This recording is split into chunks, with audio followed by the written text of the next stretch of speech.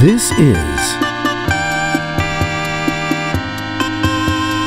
This is this. Is this is this is. This is this. Is this is this is. This is a letterbox.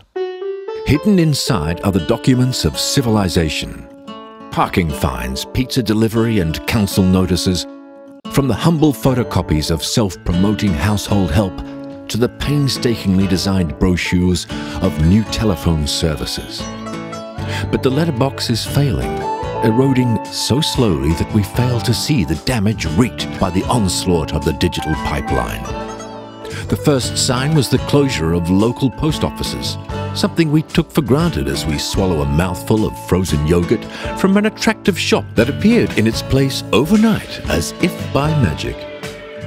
And then it was the turn of the public letterbox, picked off one by one as if by sniper, disappearing from streets and city maps in a genocidal spree whose only benefit is the exercise of added footsteps taken in search of the next letterbox.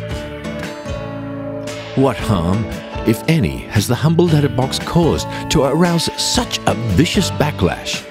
And if you say bills, one must stop and wonder how much money we have lost by having bills delivered electronically at the speed of light, advancing our payments as though daylight saving clock winding shortened our lives. It's time to draw a line on the footpath and say, no further. This is my letterbox, and I will defend it from the greed of accountants and spam. This is where we take our stand. This is where I say stop, no more, and take a fresh sheet of paper and begin. Dear Agatha,